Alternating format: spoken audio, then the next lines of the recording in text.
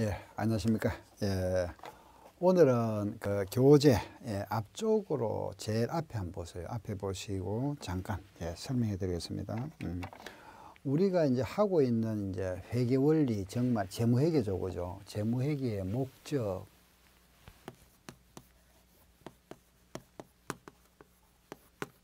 회계의 목적이죠, 그죠? 목적이 뭐냐?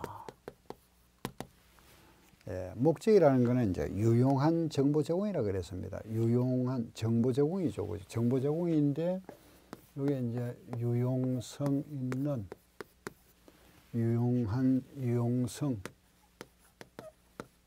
있는 정보 제공 누구에게 정보 이용자에게 그죠? 정보 이용자에게 정보 이용자라는 것은 외부와 내부로 구분하죠. 그죠? 내부라 하면은 이제 경영자, 경영진이라 이랍니다. 경영자라 하기도 하고, 뭐 경영진이라 하기도 하고, 외부 하면은 뭐 투자자, 채권자, 뭐 그죠? 거래처, 예. 투자자나 채권자나 뭐 거래처나, 그죠? 뭐 등등 많죠, 그죠? 금융기관이라든가 아무튼 이게 외부 투자자, 거래처. 그런데 이런 곳에다가 정보를 정한다, 그죠? 이 정보. 그럼 여기서 말하는 우리가 정보라고 하는 게 있잖아요, 그죠? 정보. 이 정보라는 것은 무슨 정보죠? 그렇죠. 회계상 정보입니다. 예. 회계상 정보. 이걸 이제 모든 정보다 하면 틀리죠. 그죠? 예, 여기 시험 문제 이 나옵니다. 모든 정보를 우리가 회계에서 제공하는 정보는 한정되어 있죠. 그죠? 모든 정보를 제공할 수는 없습니다. 그죠? 또 할 수도 없고, 예, 불가능하죠. 그죠? 회계상 정보다. 그럼 이 정보라는 게 뭐냐? 이게 재무제표잖아. 그죠? 재무제표입니다. 재무제표. 예. 그 재무제표의 구성 요소가 뭘까요? 그죠? 자산, 부채, 자본, 수익, 비용이죠. 그죠? 정보가 우리 재무제표에 나타나는 모든 항목이 자산, 부채, 그 뺀 차익이 자본이고 수익과 비용, 뺀 차익 이익이잖아. 그죠? 음. 크게 나누면은 자산, 부채, 수익, 비용이다. 그죠? 음. 그럼 이런 이제 말하면은 이 재무 요소를 하는 겁니다. 요소. 이 요소에 이런 요소를 우리가 어떻게 측정할 거냐. 그죠? 이런 요 측정. 이 자산을 어떻게 측정할 거냐. 부채를 어떻게 측정할 거냐. 수익을 어떻게 측정할 거냐. 이게 중요하죠. 그죠? 측정. 이 측정을 우리가 취득 원가로 할 거냐 말하면 시가로 할 거냐 그죠? 즉 말해서 이 측정을 우리가 취득 원가 역사적 원가죠 그죠? 원가를 할 거냐 또 현행 원가냐 예 할 거냐 이 금액의 측정이 중요하죠 그죠? 그리고 이걸 어떻게 또 인식할 거냐 인식 기록을 언제 할 거냐 이겁니다. 요 인식이라는 거는 효익, 돈이죠, 그죠? 돈이 효익이 유익 가능성이 높아야 되겠죠. 그리고 금액을 측정 가능해야 되죠, 그죠? 요게 자산. 높다면 자산과 수익을 말합니다. 유출 가능성이 높다 하는 것은 요거는 뭐죠? 부채와 비용을 말하는 거지. 그죠? 예, 말하면은 유입이라는 건 자산과 수익, 그죠? 유입 가능성, 적정 가능. 인식 요건이 이거잖아요. 들어올 가능성이 높아야 되고 금액 측정할 수 있어야 된다. 그 측정의 기준은 취득 원가로 할 거냐, 시가로 할 거냐. 그게 기본이죠, 그죠? 취득 원가로 할 거냐, 시가로 할 거냐. 그리고 우리가 5월 1일 날 취득을 했습니다. 얼마 주고 샀느냐? 100원에 샀다. 뭐 100억에 샀다든가 100원에 샀다. 그죠? 오늘 12월 31일 오늘 현재 시가를 보니까 130원 됐더라. 그럼 이걸 우리가 장부에다가 여기에다가 우리 재무제표에다가 이 건물을 가정합시다. 여기 얼마를 표시할 거냐 이거죠. 100원 주고 샀는데 오늘 현재 가치가 130원이라 이겁니다. 그 얼마를 해야 될까요? 그 이걸 이제 우리가 정하는 거죠. 그죠? 요걸로 하면은 요걸 뭐라 하고 원가법이라 하고 요걸로 하게 되면 무슨 법? 시가법이라 이랍니다. 그죠? 요걸 우리가 원가법이다 이렇게 표현하고 요래 하는 건 무슨 법? 시가법이라 하고 둘 중에 낮은 쪽을 하는 건 무슨 법? 저가법이라 이랍니다. 저가법. 둘 중에 높은 쪽 하는 고가법 하는 건 없습니다. 예. 원가법, 시가법, 저가법. 알겠죠? 이걸 이제 우리가 일반적으로 대표로 우리가 했을 때 예, 원가를 우리가 일반적으로 한다고 그랬잖아. 그죠? 그런데 우리 국제 기준에서 이 시가를 많이 도입합니다. 이 대표적인 뭐죠? 주식이잖아. 주식. 그죠? 그럼 건물 같은 유형자산은 어떻게 하느냐? 이거는 우리가 선택할 수 있다. 선택. 이런 토지나 건물이나 뭐 무형자산 있죠. 그죠? 영업권이라든가 이런 거는 원가를 하나, 시가를 하나 이거는 우리가 선택할 수 있다. 근데 한번 선택하면은 우리는 원가를 한다, 원의, 원가 모형 이랬잖아. 그죠? 원가 모형 하면은 사무 선택하면 계속 원가를 해야 됩니다. 우리가 재평가 모형 그랬잖아요. 재평가 모형 시가죠. 그죠? 시가로 우리 선택하면 계속 시가를 해야 돼요. 이거는 바꿀 수 없습니다. 그죠? 그걸 우리가 회계 정책의 변경이라고 그랬습니다. 정책의 변경. 그래서 요거는 선택할 수 있다. 그죠? 예. 아무튼 요거다. 그죠? 이게 이제 우리가 지도 원가를 다른 말로 뭐라 한다? 역사적 원가. 요 시가를 우리가 현행 원가 또는 실현 가치 또는 현재 가치라 부르죠. 그죠? 예, 이렇게. 그게 이제 우리가 어 요걸 이제 우리가 글쓰기가 좀 그렇습니다. 그죠?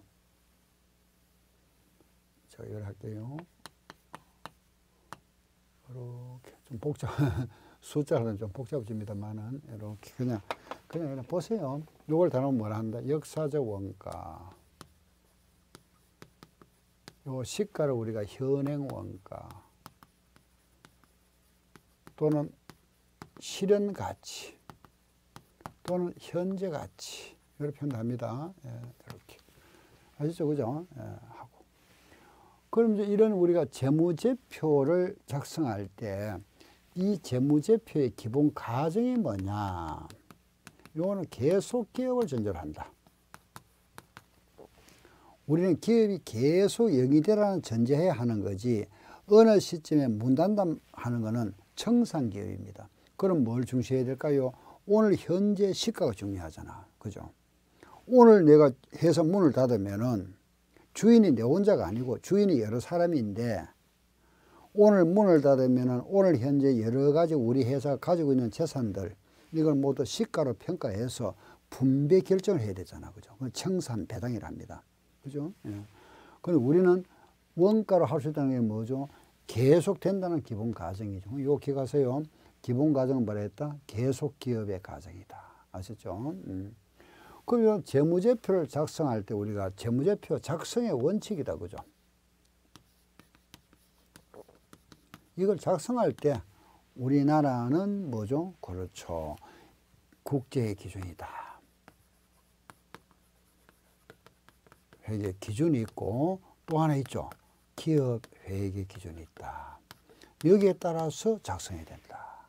그럼 국제의 기준과 기업의 기준인데 이거는 상장법인은 국제의 기준이고 비상장은 기업의 기준에 따라 한다.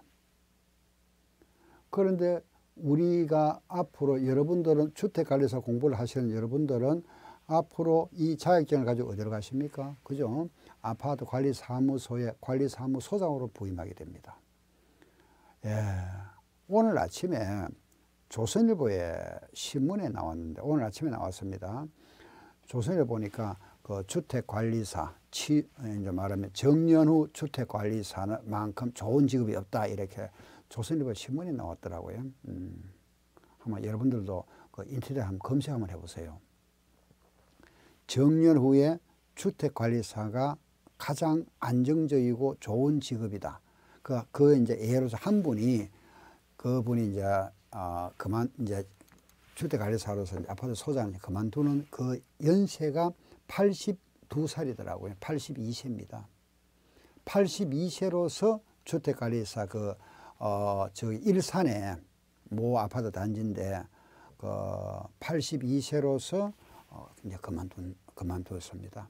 자, 82세까지 근무할 수 있는데 가 어디 있겠습니까? 대한민국에. 어느 직종에서 할 수 있겠습니까? 물론 뭐 기업의 그룹의 회장 어, 아닌 다음에는 그죠? 힘들지 않습니까? 일반인들이.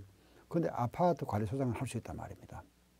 뭐 신문에 나왔습니다. 82세. 현재도 80 넘는 분들이 꽤 많이 있습니다. 예. 어, 여러분들도 지금 현재 어, 공부하시는 분들 제가 연세를 모르지만은 나이를 잘 모르지만은 뭐 여기는 뭐 30대 있을 거고 40대, 50대, 60대, 70대 뭐 다양하겠죠. 그죠? 어, 나이는 관계없습니다. 어, 82세로서 이제 어, 아파트 건물을 이제 그만두신 분이 오늘 아침 신문에 나왔더라고요. 예. 그러면 나오면서 주민들로부터 감사표도 받고. 예. 예. 자, 우리 아파트에 가면은 우리는 이거 기준입니다. 비상장이니까 그죠. 그렇죠? 그래서 어, 우리 이걸 기준 하는데 시험은 이게 나옵니다. 그 여러분들은 이제 제가 강의를 들으시는 게 제 강의가 전부 이거 기준이니까 그냥 이 따라오시면 됩니다. 뭐 여기서 가장 막 우리가 하나 본다면은 우리가 가장 이제 어, 피부로 느낄 수 있는 게 대차 대조표 하는 말 있지 않습니까? 대차 대조표는 여기서 하는 말입니다. 음? 근데 국제 기준에서는 재무 상태표라 이랍니다. 내용은 똑같습니다. 재무 상태표 여기 오면은 대차 대조표.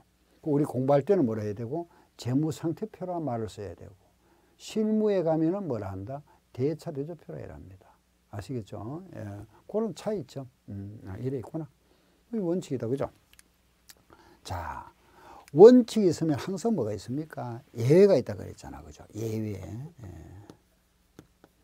예외가 있다. 예외. 이 예외가 바로 뭐냐? 회계 관습입니다. 우리 이제 옛날부터 이제 관례적으로 내려오는 습관이죠. 그죠? 예. 회계 관습. 이거 인정해 줍니다. 우리 법에서. 그래서 이제, 어, 요거 꼭 인정, 기억을 하셔야 될 것이 감정 평가사 시험에 쭉 다음에 틀린 차례, 틀린 거 차례가 쭉 나오다가 끝에 가서 회계 관습은 배제한다 이랍니다. 틀리지 않습니까? 그죠? 회계 관습도 인정해 줍니다. 아시죠?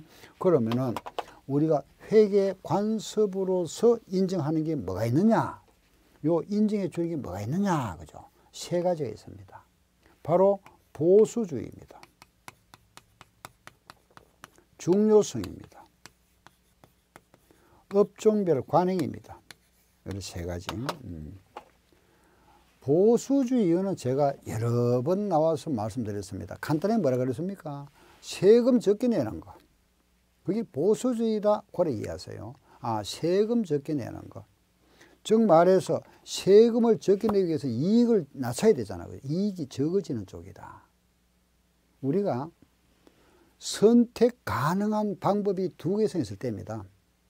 하나 있을 때만 하면 안 되지. 그건 탈세가 돼버리지. 그죠? 이걸 해도 되고 이걸 해도 될때 예, 선택할 수 있는 방법이 두 개서 있을 때 나는 유리한 쪽을 선택할 수 있잖아. 그죠? 그 유리한 쪽이 뭐냐? 세금이 적게 나오는 쪽. 즉, 이익이 작아지는 쪽. 그걸 좀 더 확대한다면 자산을 어떻게 하고, 적게 하고, 부채는 크게 하고, 수익은 작게 하고, 비용은 크게 하고. 알겠죠? 그게 보수주의다. 아, 요거는 이익이 작아지는 쪽이다. 그 이익을 적게 하기 위해서는 어떻게 하느냐? 자산은 적게 개선해야 되고 부채는 많이 해야 되지. 그죠? 또 수익은 적게 해야 되고 비용은 많이 해야 되죠. 그죠? 이게 이익이 작아지는 거잖아. 알겠죠? 그 이거 반대로 한번 생각해 볼까요? 이익을 크게 한다. 이익을 크게 한다는 건 어떻게 하고 자산을 뭐하고 크게 하고 부채를 어떻게 하고 작게 하고 수익을 어떻게 하고 크게 하고 비용 어떻게 하고 적게 하는 게 비, 반대니까. 자, 여러분들 어, 그 아마 이 말 많이 들어봤을 겁니다. 예.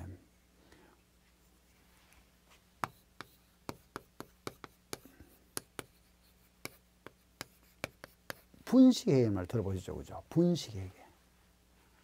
분식회계가 뭘까요? 분식회계. 많이 들어봤죠, 그죠?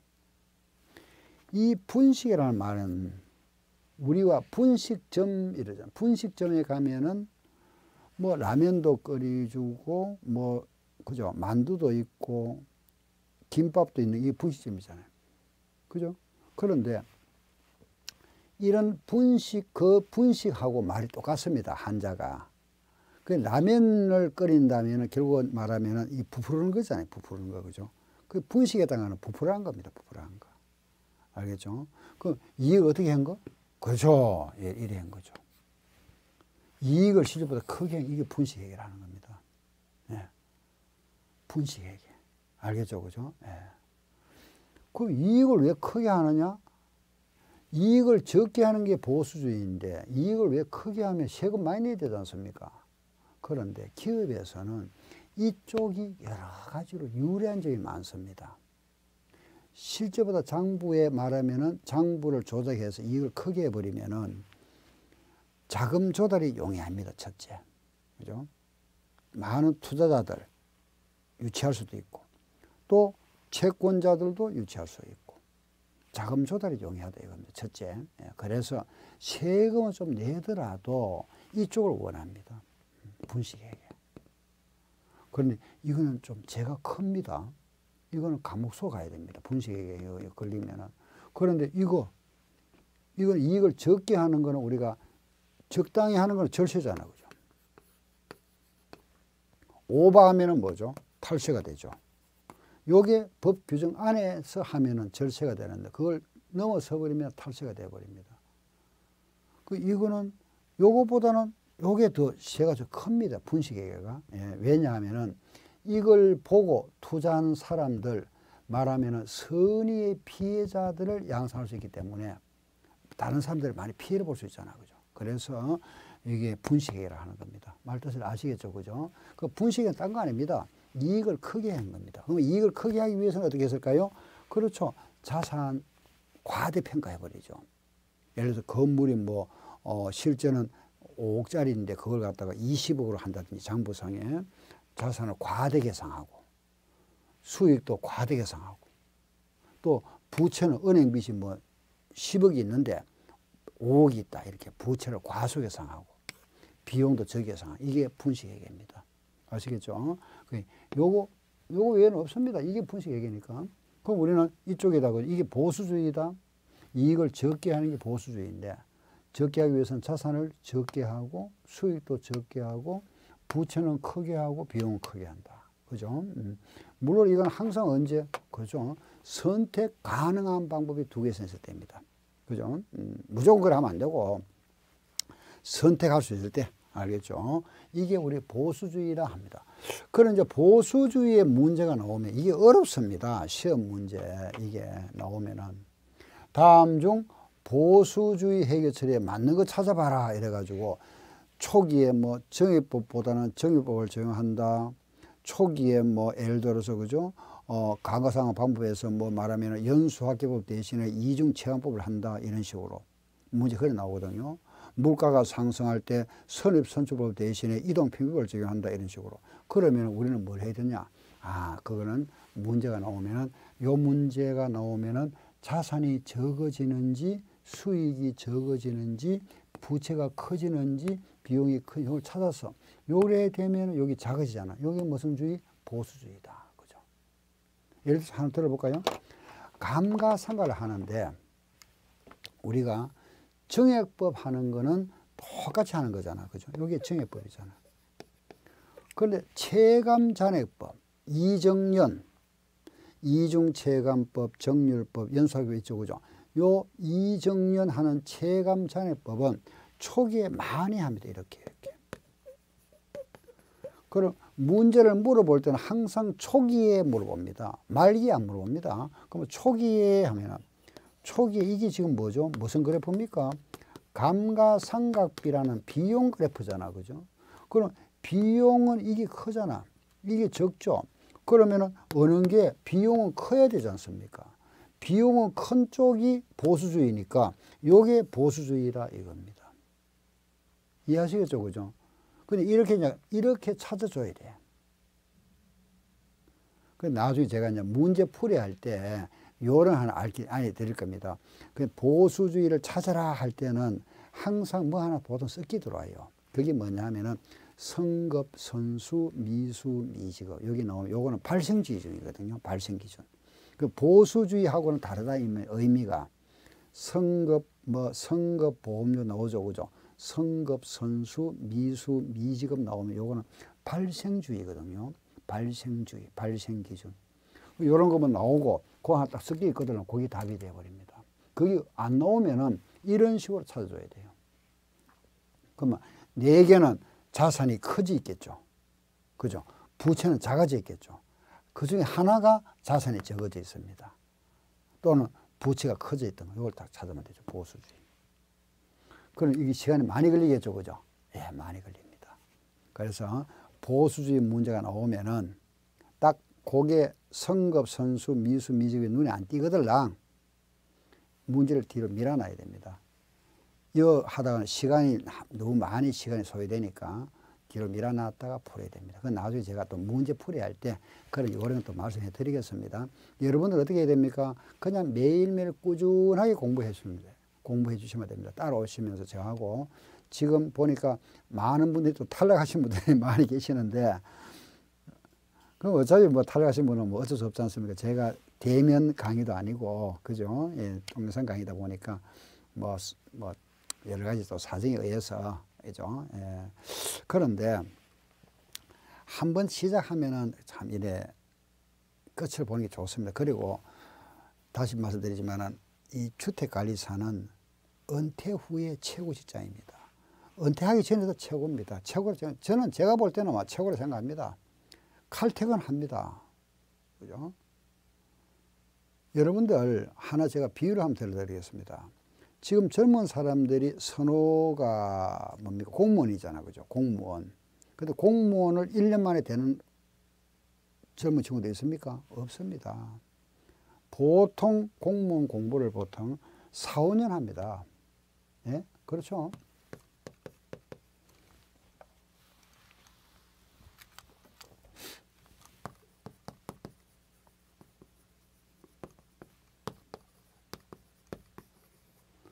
이게 소요 기간이 공부 기간이죠, 그죠? 공부 이 공, 공부 그 기간이 이건 한 4, 5년 빨라야 뭐 2, 3년이고 4, 5년 걸립니다. 합격하려 하면은 그렇죠? 뭐 우리가 흔히 뭐, 뭐 공시족이라 하는데 주택 관리사는 여러분들 시작해서 시험이 어, 1차가 언제입니까? 예, 7월 달이죠. 그죠? 6월 달까지 공부한다 하면은 불과 8개월 합니다. 8개월. 그죠? 공부하죠. 그죠? 물론 재수하는 분은 또 재수하겠지만은 근데 8개월 하면 됩니다. 합격. 예. 월급이 얼마냐? 공무원들은 입사하면은 이 참 발령, 발령, 먼저 취업을 해야 되죠. 그죠? 취업을 하는데 공무원 발령 금방 안 납니다. 2년에 납니다. 합격 후에 2년 내에 납니다. 뭐 재수 좋으면 좀 빨리 되고 어? 늦으면 또 2년 안에 발령 납니다. 여도 2년에 충분합니다. 빠른 분들은 한 달 만에 들어간 분도 있고 이건 자기 하는 하기 나름이죠. 예, 이 부분은 또 우리가 어, 예를 들어서 이제 말하면은 어, 우리 관리라든지 관리 회사들이 위탁 관리 회사들이 어, 많이 있습니다. 아마 10대 관리 회사들이 있습니다. 뭐 우리 관리라든지 유림, 어, 울산이라든지 뭐 서림이라든지 서일, 뭐 무림 이렇게 많이 있습니다. 있는데 이런 회사들이 말하면은 금년에 이제 여러분들 24회죠, 그죠? 24회 신입생. 말하면 24회 합격생들만 시험을 칩니다. 따로 그분들만 채용한다니까요. 작년 합격생 말고 금년에 합격한 분들만 우리 관리라든지 해서 그 인원은 이제 그 매년 달라집니다. 뭐 50명, 100명이 모집합니다. 그의 합격생에 한해서 그게 일차 응시해야 될 거 아닙니까? 그죠? 내 과거에 좀, 그, 그거는 이제 경, 이제 아파트 경력은 없죠. 어차피 처음이니까, 누구나 다 처음이니까. 그 이제 그런 분들을 상대로 해서 채용합니다. 그 일단 더할 관문이 첫째 관문이 그겁니다. 첫째 들어갈 수 있는 관문이. 음. 그래서 1차 이제 뭐 과거의 사회 어, 경험이라든지 그러면 이제 합격하고 나면 이제 면접을 대비해야 되겠죠. 그죠? 그렇죠? 뭐 이력서도 이제 쓰는 좀 요령도 좀 익히시고 자기 소개서라든지 이런 좀 익히시고 또 면접 일에 할때 뭐를 물어보는지 또 그런 정보를 좀 알아가지고 좀 준비를 해야 되죠. 면접은 준비를 하셔야 됩니다. 왜냐하면 순간적인 그 말하면은 그 순간적으로 우리가 표현하는 거지 그걸 미리 준비 안 했으면은 그때 그때 당장 이런 물어보는데 내가 준비 안 하고 당연히 답을 못 합니다. 그죠? 딱 준비해 놨다가 물어보면 바로 바로 답을 할 수 있도록. 어, 그거는 연습 좀, 그것도 뭐 연습 좀 하시면 되고. 아무튼, 어, 그런 길이 있습니다. 매년 채용합니다. 예, 매년. 금년 합격생에 한해서만. 아시겠죠? 예. 그래서 그 길이 있고, 만약에 그 길에 만약에 실패를 했다. 실패를 하게 되면은 또 어, 그 이제 말하면 주택관리 협회, 협회에 들어가면은 협회 사이트에 들어가면은 모집 공고가 나옵니다. 단지마다. 소장 구함 이런 나옵니다. 그런데 또 응시할 수도 있고 또 아는 분들 통해서 또 들어갈 수도 있고 하여튼 여러 가지 길은 여러 가지 많이 있습니다. 있기 때문에 아무튼 취업은 다 됩니다. 예, 들어갈 수 있고. 그럼 월급이 얼마냐? 공무원 월급은 들어가면은 기본 뭐 한 200만 원 남짓 할 겁니다. 아시겠지만은 예, 초봉이 그죠? 근데 소장 들어가면은 적어도 250에서 300만 원 받습니다. 음. 그러다가 요 이제 3년만 하고 나면 보딱 떼면은 또큰 데로 가잖아 그죠? 뭐큰 데로 가면은 뭐 400만 원, 500만 원 이래 받고. 예. 자, 한번 비교해 보세요. 예. 할만하지 않습니까? 공무원은 정년이 있죠. 이거 정년이 없습니다. 어, 제가 앞 시간에 말씀드렸죠. 그죠? 82세에 요번에 이제 그만두고 나오신 분이 계시더라고. 오늘 신문에 나왔습니다. 82세. 음, 예. 그 말하면 정년, 몸만 건강하면 정년이 없다 이겁니다. 이건 정년이 있지 않습니까? 공무원들, 그죠? 예. 자, 이 정도 제가 비교해 드리겠습니다. 어, 한, 예, 여러분들이 판단을 여러분들이 하시고, 그러면은, 그걸 이제 생각하셨다면은, 내가 이 공부를 할 건지 말 건지, 딱 판단을 했다면, 한번 시작했다면은, 어, 열심히 하시고, 예, 아시겠죠? 예. 또, 여러분들은 제가, 어, 장난 큰데, 어, 이게, 어, 말하면은, 주전무에 잘 들어섰습니다. 예. 주전무에서 잘, 왜잘 들어오시냐 이러면은 여기 강사진들이 전부 오래 했습니다. 에듀일보다 오래 했습니다. 예. 저도 에듀일에 초창기 있었고, 우리 시설 지금 강의하시는 어, 소유병 교수는 지금 현재 그 에듀일에 강의합니다만, 저도 에듀일에 강의했습니다. 했었고, 과거에. 예, 그런데, 어, 그때는 에듀일보다 우리 제가 그때 강의할 때가 애들보다 한 단계 높았습니다. 우리는 말하면은 그때 그 수강생도 많았고. 음.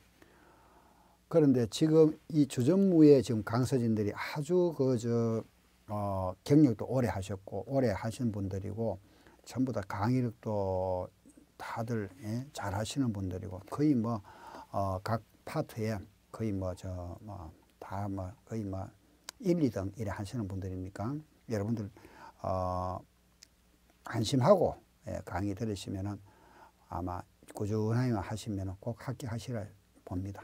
예, 제가 앞으로 또 시간 나는 데마다 또 필요한 이야기 제가 어, 해드리겠습니다. 예. 자, 또 요선도 마치고 어, 또, 예, 또 본론에 들어가겠습니다. 보세요. 교재 한번 보세요. 예, 이 여기까지 제가 말씀드렸죠, 그죠? 보수주의까지 말씀드렸고, 어, 중요성 이랬습니다, 그죠? 중요성 하는 거는 간단히 말해서 금액이 크다, 적다 이겁니다. 아시겠죠, 그죠? 예, 그래서 요거는 우리가 질적 중요성이 있고 양적 중요성이 있는데 주로 이걸 많이 봅니다. 아, 자, 이거, 이거. 이게 이제 금액이 크다, 적다죠, 그죠? 그래서 이거 만약에 제가 간단하게 말씀드릴게요. 수도료와 전기료 있지 않습니까? 그죠? 이래 있는데, 제가 한번 예를 한번 들어드렸습니다만은, 뭐 찜질방, 뭐 쉽게 그죠? 사우나, 이런 데 가면은 그 기본 말하자면은, 어, 모든, 그죠? 이게 제일 클 겁니다. 아마 가장 원가가 제일 크죠. 전기료, 수도료, 24시간 켜놔야 되니까. 그리고 이런 데는 수도료 얼마, 전기료 얼마 해야 되지만 우리 학원 같은 경우는 금액이 그렇게 이게 구분할 필요 없지 않습니까? 그죠? 뭘 하죠? 그렇죠. 수도 광열비 이렇게. 일할 수 있다 이겁니다. 아시겠죠? 그죠? 금액이 크면은 요래 세분하고 금액이 적으면은 요걸 갖다가 그죠? 묶어서 그죠? 요걸 갖다 통합할 수 있다. 이렇게. 이런 게 뭐죠? 중요성이다. 이런 게 관습적으로 인정된다 이겁니다. 관습적으로 인정되고 음. 이거는 뭐냐 하면은 업종별 관행입니다. 은행에는 외상거래가 없지 않습니까? 그죠? 현금 거래, 그 현금 기준 이런 게 업종별 관행으로 인정해 주는 거고 요거는 계정 과목의 중요성입니다. 저 요거는 한번 나왔었죠. 그죠?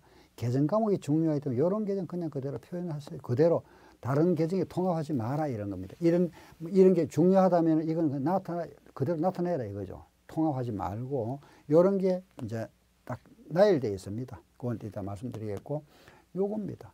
그럼 보수주의라는 거는 이익을 적게 계산하는 거고 중요성이라는 거는 아, 금액이 크고 적고 이게 중요하다고 판단되면은 그걸 따로 표시해 주고 별로 중요하지 아니하면은 다른 계정에 통합할 수 있다. 그리고 업종별 관행으로 인정해 주는 거. 이세 가지를 우리는 회계 관습이로 인정된다. 회계 관습이라는 겁니다. 보수주의, 중요성, 업종별 관행 이랬습니다. 아시겠죠? 그죠? 예. 다음 시간에 계속하겠습니다. 하겠습니다.